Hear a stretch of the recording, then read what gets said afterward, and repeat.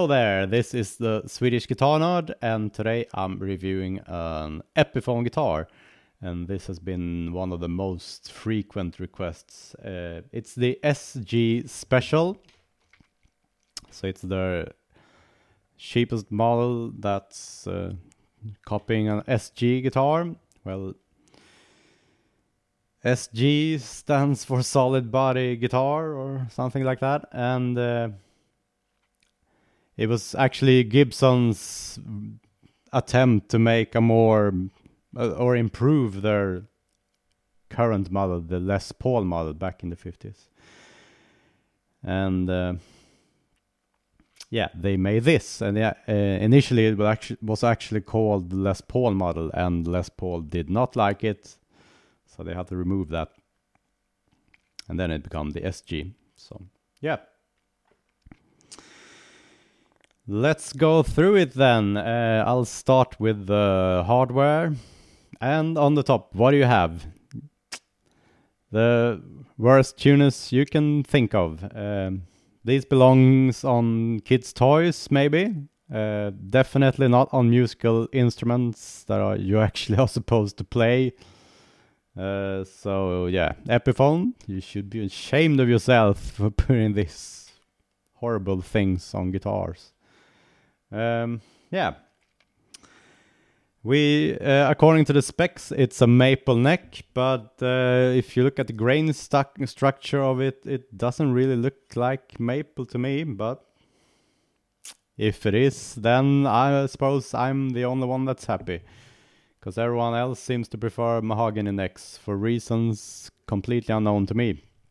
Maple is uh, a more solid and even wood, so it's much better to make guitar necks out of and uh, I'm quite sure that the wood of a guitar neck does not affect the tone at all of a guitar, electric guitar, that is. Uh, but as I said, maple makes it more solid, so I hope it is maple. Uh, as usual, Gibson are doing this part wrong, so yeah, they are not keeping because they remove wood from here actually which they could keep to make this part solid because this is where it breaks when you have the angled headstock. So, well then, I'll get back to that.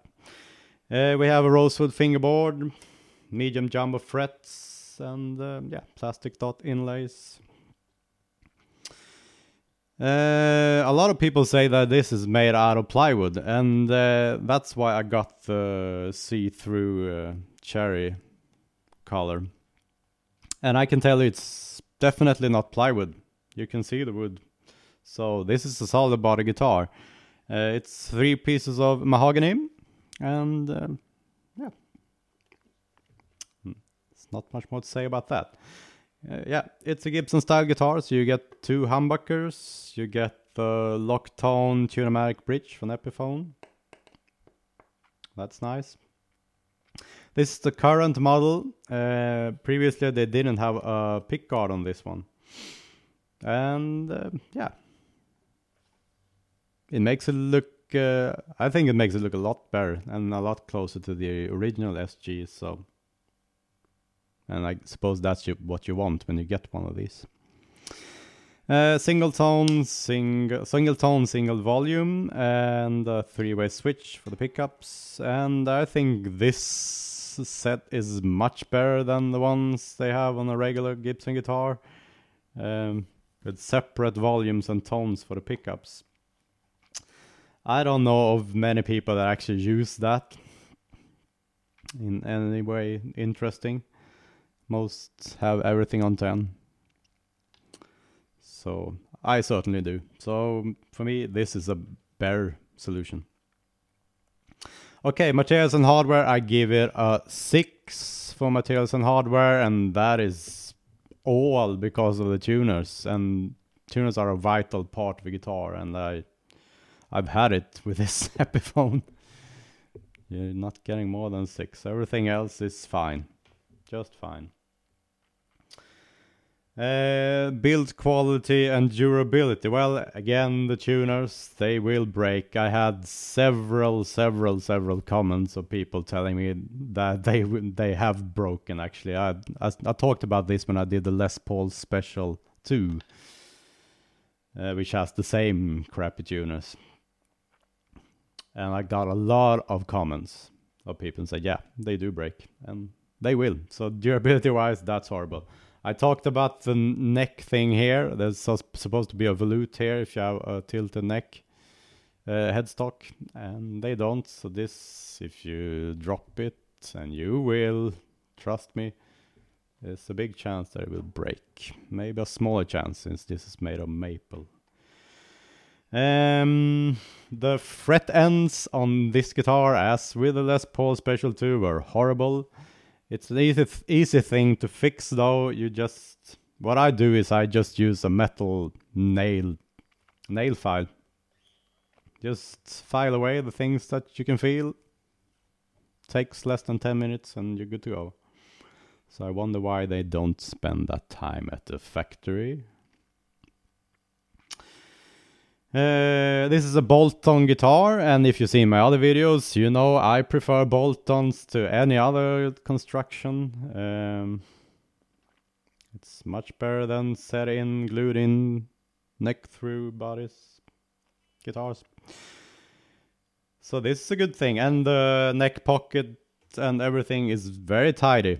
So the way the neck is made and the way it's connected to the body, it's yeah, really nice. The neck, by the way, is a rather slim one. It is different to the Les Paul Special 2, and it's I don't know. I'm used to playing strats that usually have more slim necks, at least modern ones, and this didn't feel like such a big switch. Well, back to build quality durability. Um, well, there's nothing else to complain about. This bridge, I like this one. For a Tune-o-matic bridge, this is really good. So, build quality durability gets uh, 7 as a whole. Playability. And again, I will compare this to the Les Paul Special 2, which I suppose this is the two guitars you would choose between if you get this. And the Les Paul Special 2 has wood here, so you the way it's so much harder to get down here and reach the lower frets. And that is probably why they made the SG from the start, actually to make it more accessible down here. Uh, the body is lighter and thinner, and as it is an SG, it has all these contours and it feels more ergonomic. So uh, compared to uh, the Les Paul Special 2, this is much more playable. And the neck, as I said, is slimmer. Yeah. If playability is what you're after, then go for this one. This is much better.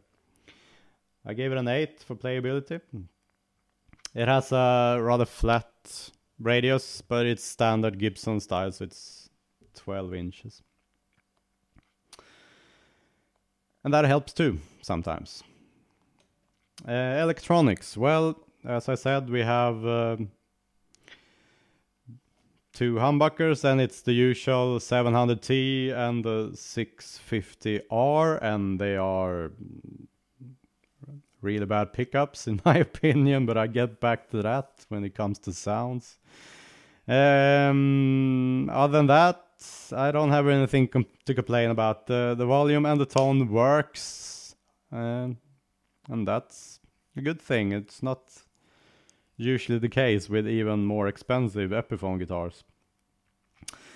Uh, this is, a, as I said, a current model, and they have put the kill pot that they us- used to have on what was it called, the Les Paul Special GT or something. So if you press down the tone knob, it turns off the volume, so you can make funny things. And that is, if someone has the two volume, two tone thing, that is a common thing to do. You turn off the volume on one pickup and then you do it with a toggle switch. But here you have this one, and if that's something you like, well, I think it's kind of funny to use. So electronics gets an 8. Okay then, let's listen to it. Uh, I will go through all the pickups as usual from the bridge pickup or the treble pickup, what it's called here, the two together, and the neck or rhythm pickup. And first we have a clean sound.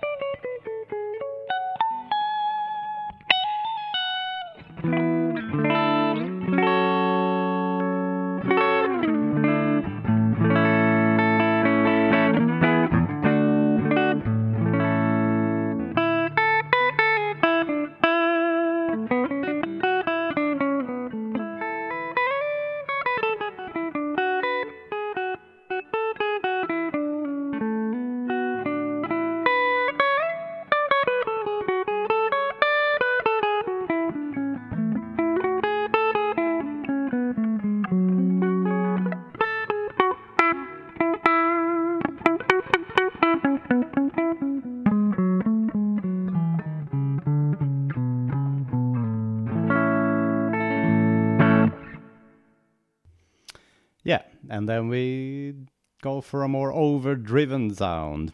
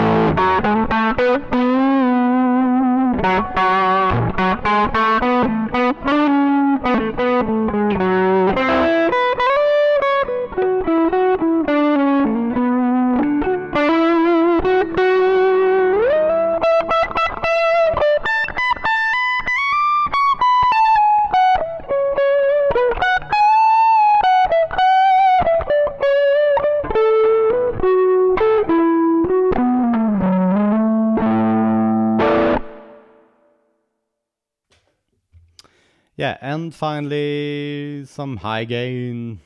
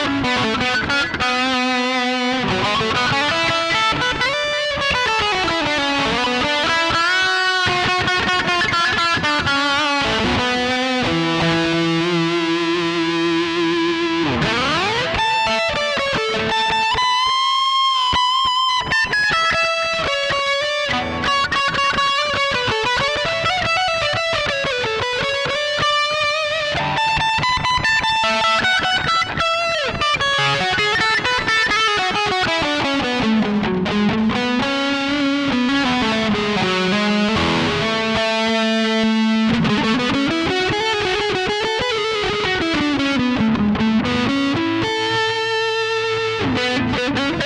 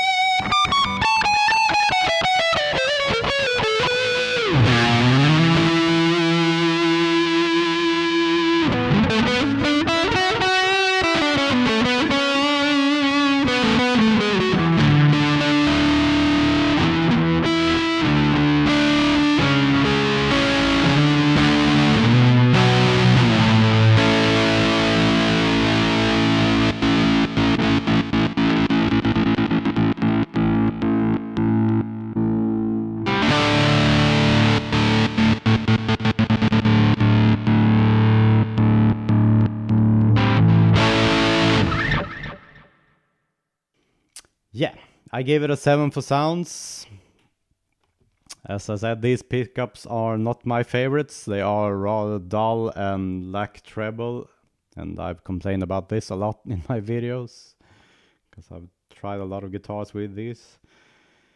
Um, yeah. So, as you can hear, they were voiced for high gain. They suit that a lot better. Then they it really brings out the best of them. But if you're using anything else like clean tones, yeah, it just makes the guitar sound dead. Um, yeah, it's a really playable guitar, as I said. Uh, again, with the bolt-on, it has several uh, good things about that because that makes them put the neck further into the body and just move everything. Because with a regular SG, then this is further out, it's attached much further out. So this is actually much easier to get around. Um, and as you can hear, the sustain of this guitar is rather good. I'd say it's um, better than the G400 that's supposed to be the real SG in the Epiphone range. And uh, that probably comes down to a lot of things, but I think the bolt-on construction actually affects it. Because it's not true what people tell you that set-in guitars are better sustained. It's not true at all. Uh, I have added a new category, and that's value. And I will give this guitar an 8. It's one of the cheapest guitars you can get. It blows my mind how you can make a guitar for that little money. Uh, well, as you noticed in my re review, what I wanted them to change primarily is the tuners. It would add a slight cost to it, but that will make it a guitar that you can have for your entire life and not change anything. Because you will be forced to change the tuners. It's not that big of an investment, but anyhow, you don't want a car with square wheels again. Uh, so all in all, it gets a 7.3. And uh, yeah, I like the guitar. Playing wise, it's a great guitar.